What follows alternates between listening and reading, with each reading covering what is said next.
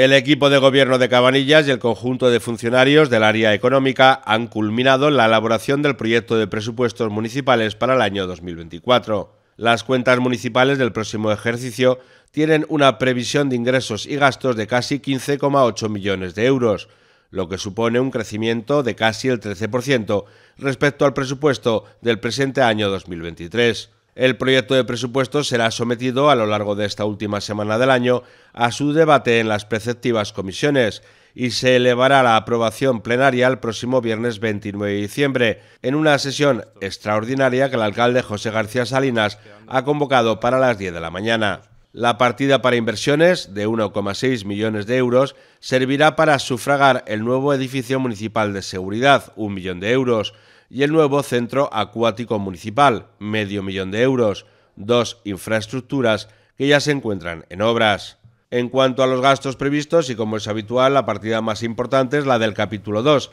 que sirve para pagar gastos corrientes en bienes y servicios. Esta partida se lleva algo más de 8 millones de euros y supone casi el 51% del presupuesto total, con un incremento del 3,14% respecto al año pasado. Esta parte de las cuentas es la que sufraga todo el mantenimiento y conservación habitual del consistorio, en asuntos como las vías públicas, alumbrado, limpieza, jardines, el mantenimiento de la red de agua, etc. La siguiente partida de gasto en importancia es el capítulo 1 de personal, cuya cuantía supera los 4,9 millones de euros y supone el 31,4 del total del presupuesto. Esta partida crece un 11,1 respecto al año anterior debido al incremento previsto en la plantilla municipal, con nuevas incorporaciones de personal en diferentes departamentos, así como los incrementos salariales también previstos. En cuanto a los ingresos, la principal fuente de financiación del ayuntamiento será un año más los impuestos directos, con la que se prevé recaudar 7,1 millones de euros,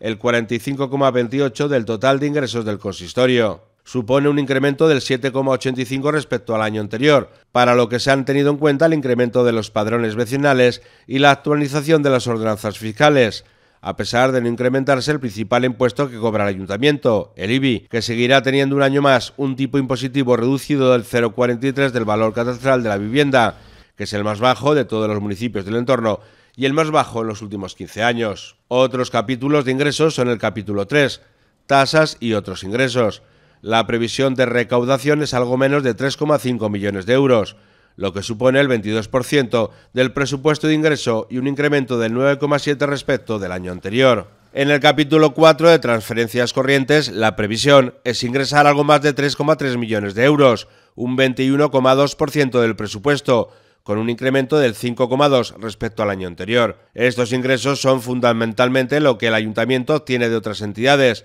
esencialmente por su participación en los tributos del Estado, así como las subvenciones que se reciben de la Administración Autonómica. Finalmente, el presupuesto 2024 estima unas entradas de casi 522.000 euros por el capítulo 5 de ingresos patrimoniales, rentas generadas por propiedad o patrimonio del Ayuntamiento, y de apenas 38.800 euros por el capítulo 7 de transferencias de capital, por una subvención comprometida desde el Grupo de Desarrollo Rural Adasur para la compra de un nuevo 4x4 de protección civil. No se prevén ingresos por enajenación o venta de propiedades municipales.